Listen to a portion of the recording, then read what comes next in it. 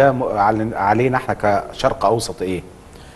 ترامب عنده مخطط عنده مشروع خطر جدا خطر. خطر, خطر جدا لأنه أي آه، حرب لها تأثيرات على الإقليم لها تأثيرات في الخليج لها تأثيرات على دول ال- الخليج لها تأثيرات على الجاليات لها تأثيرات على قناة السويس لها تأثيرات على البحر ال- الأحمر لها تأثيرات للسياحة في الإقليم كله لها تأثيرات في العلاقات الدولية.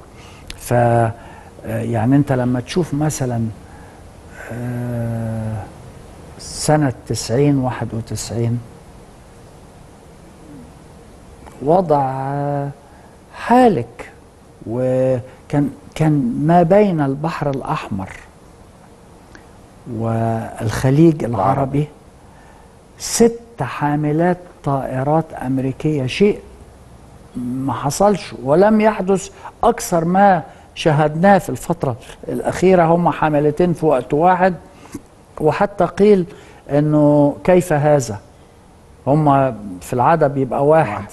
ففي حاملتين واحدة في الخليج أو في البحر الأحمر والأخرى في بحر متوسط. البحر المتوسط وهكذا لكن فيما يتعلق ربما من هذا الملف نروح للعلاقات المصرية الأمريكية وجدنا بلينكن وزير الخارجية الشهر اللي فات جاء في زيارة خصيصا إلى مصر لقاء مع السيد الرئيس عبد الفتاح السيسي ثم وزير الخارجيه والحديث عن الحوار الاستراتيجي المصري الأمريكي سبقت زيارة بلينكن بيوم لأول مرة يمكن من 2010 أو 2011 أمريكا بتدي المساعدات العسكرية المصرية دون قطع دولار واحد منها. إيه الأسباب؟ أسباب لازم أن الولايات المتحدة بترى أهمية شديدة للقوة العسكرية المصرية بترى فيها أهمية شديدة للدور المصري بتعمل ترضية لمصر وبتبني آه، أو بتسعى إلى بناء محور ب- تسعى إلى تعزيز العلاقة والفهم المصري الأمريكي تجاه بعضهم البعض. لأن دي علاقة قديمة. آه، طبعا الولايات المتحدة موجودة على مستوى الإقليم ومع مصر على مدى آه، 150 سنة لكن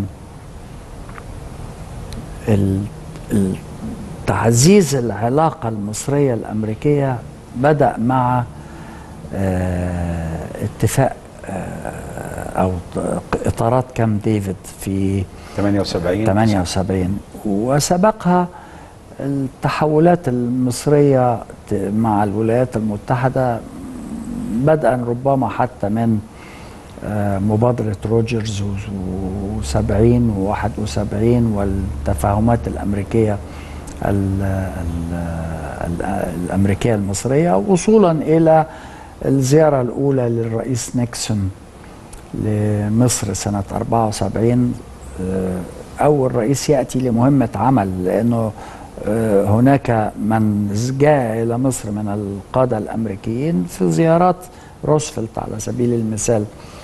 آه، روزفلت آه، فرانكلين ديلانو روزفلت أو حتى تيودور روزفلت جاء في زار مصر في بداية ال- الق- القرن. ف آه، هو شيء جدير بالاهتمام وبصراحة يسعدني جدا. دي من الحاجات القليلة اللي الأمريكان بيعملوها. وزير خارجية يأتي المنطقة لدولة واحدة. واليوم. واليوم. فالراجل ده تع- بيتعرض لي في رحلة بهذا الشكل إن يجي في يوم ويمشي.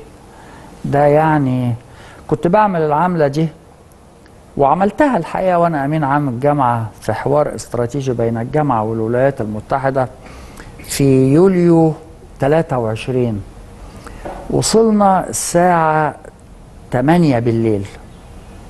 دخلنا على اللوكاندا الساعة 10 نمنا صحينا الصبح رحنا ال State Department وزارة الخارجية الأمريكية.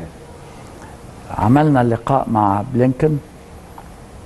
مشيت الساعة 11 آه، السفير حسام زكي مع بقية الطاقم الجامعة بقي مع الأندر سكرتري وكيل ال- ال- الخارجية الأمريكية لثلاث أربع خمس ساعات.